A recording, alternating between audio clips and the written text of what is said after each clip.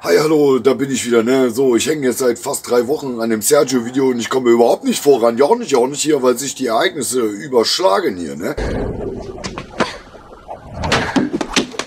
So, also ihr könnt euch gar nicht vorstellen, was hier Backstage los ist. So als ob das Gipfeltreffen mit Tommy Luke Böhlich und Heinrich Pfaff jetzt nicht äh, genug wäre, so, ne?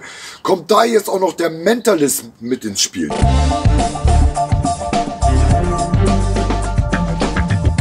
Ja, kennt ihr den Mentalisten so? Ey, der hat mir eine Atombombe in die Hand gedrückt hier. So, unser Kickbox-Kumpel Wolle hier, ne, der hat in den letzten äh, 10, 12 Wochen äh, zwei Kämpfe gemacht. Ne, so, und äh, da gehört natürlich die entsprechende Vorbereitung dazu. So, und ich bin Wolle sein Trainingspartner in der Vorbereitung. Das heißt, wir machen alles zusammen hier. Das ganze Striking, das Krafttraining, ne? Das ekelhafte Zirkeltraining vom Hokusha hier, ne?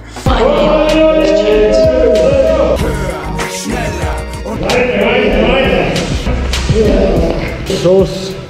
Jeden Tag. Jeden Tag.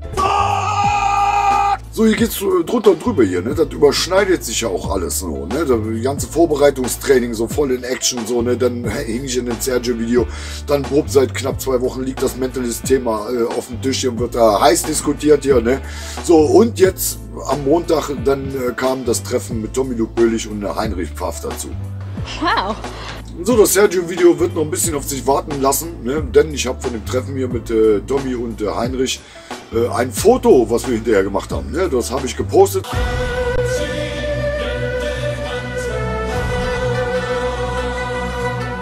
So, und da gab es ganz viele Reaktionen auf YouTube, auf Facebook, Instagram, überall und ähm, hauptsächlich positive Dinger hier. Ne? So, da gab es dann natürlich aber auch Denken hier von Waldi, ne? viele Grüße. Und ähm, deswegen habe ich mir gedacht, so, dass ich das mal grob umreiße, so, so wie das abgelaufen ist und was wir da so gequatscht haben. Interessant. Sehr interessant. So, jetzt hat ja mein Heinrich Pfaff-Video zu diesem Treffen geführt, so, ne? Und äh, natürlich hat Heinrich auch keinen Applaus geklatscht, so, ne? Aber ob ihr glaubt oder nicht, das Video war dem scheißegal, so. Das ist aber schon etwas, ja? Dem war wichtig, dass er mir die Umstände erklärt, die zu diesen Entwicklungen geführt hat. Ne? So das Wieso, Weshalb, Warum so. Ne? Und das Ganze hatte mehr politischen Drive als einen technischen. So. Und ich muss sagen, ich bin nicht überrascht, was ich da gehört habe, aber äh, ich bin schockiert. So, ne? so letztendlich kann man sagen, diese ganze Videosache äh, war eigentlich nur eine Brücke zu dem viel konstruktiveren Teil. Nur, denn dann haben wir über äh, Leistungen äh, gesprochen, über das Sportwing Chun ne? und allen am Tisch war klar, ja, das heißt der äh, Heinrich, dem Tommy, der Wolle und mir, ja, dass das Sport Wing Chun, äh, das Wing Chun im Allgemeinen legit machen kann.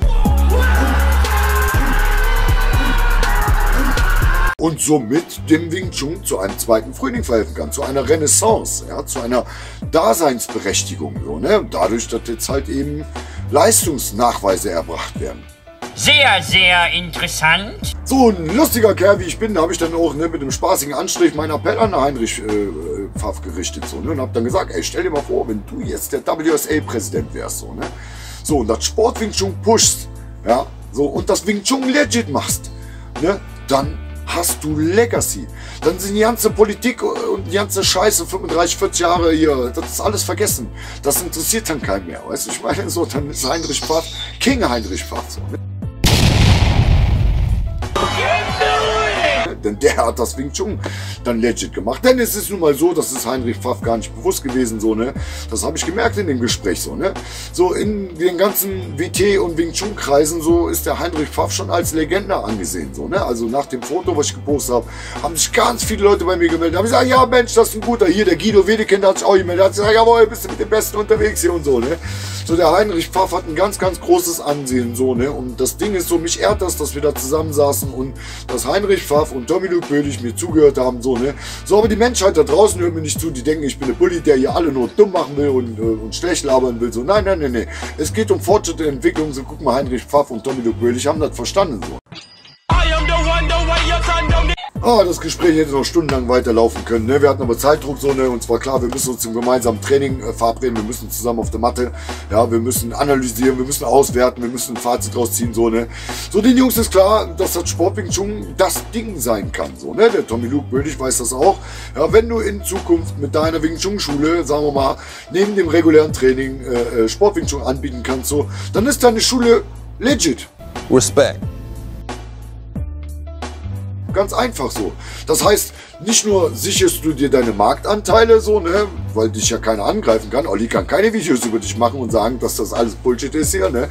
Denn du bist im Touch mit dem realen Shit, ja? So, und das sichert dir dein, deine äh, Marktanteile. So, und dadurch, dass du Sportwing schon hast, so musst du dann die Leute nicht mehr wegschicken, die auch ein bisschen mehr machen wollen als nur das reine Bewegungstraining, so, ne? So, das heißt, du hast dann äh, äh, neue äh, Zielgruppe erschlossen. So, das geht in die richtige Richtung so, ne? Und jetzt, als ob diese ganze krasse Sache nicht jetzt schon äh, so die Spitze vom Berg wäre, so, weißt du? Nein, da liegt jetzt auch noch das Mentalist-Thema hier äh, auf dem Tisch.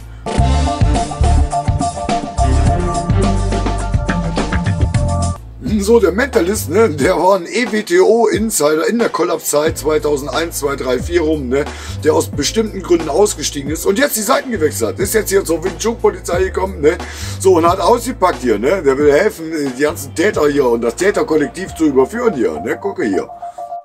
Also ich habe hier, glaube ich, 80 Terabyte an Daten von Wing Chun, die ich daran gekommen bin. Das erzähle ich nur bei dir. Auf jeden Fall habe ich halt äh, damals ja sehr viel mit rumgehangen. Früher, bevor ähm, Scantling König und Eric Co-Geschäftsführer bei der EDTO waren. Und dann sind die ja teilweise gegangen, hast ja auch selber dein Video gezeigt. Und ich habe dann ja sehr viele Privatstunden und sehr viele Jahre lang äh, trainiert und die war schon gekriegt und so weiter und hatte da ein Deal. Ja, arbeiten viel, machen Urkunden, Mitglieds, Booklet so, und aus die ganzen Originaldateien. Und da habe ich Videos für ihn gedreht und geschnitten und seine Website und ein äh, PC von ihm habe ich auch neu installiert. Also mit seinen ganzen Festplatten und so. Und da habe ich Sachen gesehen, bei lieber Schwan.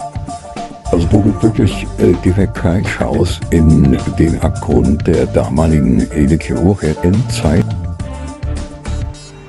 Who do you think this man is? So, ich kann direkt schon mal sagen, so Heinrich Pfaff ist es nicht hier, ne? Also Heinrich und der Tommy hier, die sind auch abgeschnallt, als sie das Video gesehen haben. Das habe ich denen gezeigt bei dem Treffen am Montag hier, ne? So, da äh, ist denen aber alles aus dem Gesicht gefallen hier, ne? So, also Leute, das ist der brandheiße Shit so. Und wenn ihr mehr zum Mentalist wissen wollt, ja, dann watch out for the next video, denn da geht es ausschließlich um den Mentalisten und wie ich mit der Atombombe umgehen werde, die er mir hier in die Hand gedrückt hat. Das heißt, bis dahin.